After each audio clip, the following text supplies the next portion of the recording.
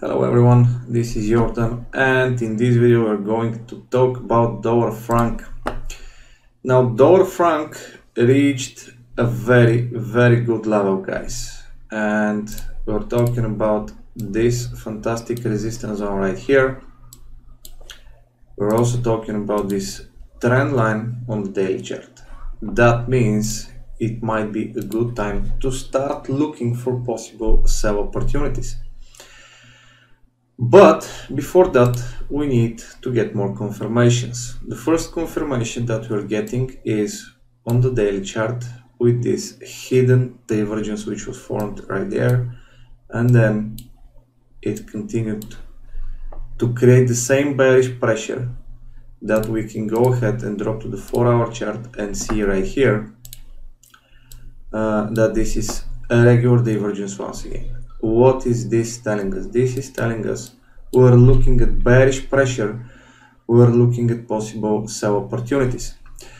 Now, in this case, what we're going to do is apply a principle called the Matryoshka. And the Matryoshka is basically telling us to go ahead and try to squeeze the actual setup, the actual entry to the smaller time frames. We know that on the daily chart we have levels and we have hidden divergence, bearish. On the 4 hour chart we have bearish divergence, again down. We drop to the 1 hour chart where we can see once again divergence right here. So again, 1 hour chart is giving us bearish. And when we drop to the 15 minute chart, we can go ahead and find right here the last divergence which gave us the breakout below the middle point creating the convergence. And this is in fact uh, the trigger here for this sell that we can expect to go ahead and push the price lower.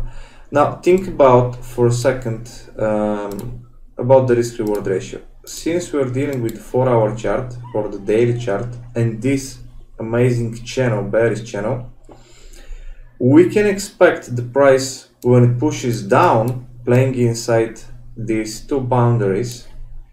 When it pushes down to go much faster and much stronger. But when it goes upwards to go slower in nasty moves. When it goes down we can expect this to happen once again. You can see all over the screen this entire part. Any bearish move that we had well majority of them of course were very powerful so if that would be the place where the price is now ready to start reversing we might get very sharp moves here and of course the risk reward ratio is absolutely fantastic this is going to be most likely a final target, not the first one. We can go ahead and cash out on the way to the downside. We can cash out first position, leave some small portion for the final target, and then look for add-ons on the way down when it's giving us pullbacks. There are plenty of ways to trade this kind of setup uh, the question is which one you prefer. So if you have any questions, please leave them below in the comment section. Don't forget to join us in the Telegram community where we share more ideas and trades. And of course, thumbs up if you enjoy this kind of videos. Thank you for watching.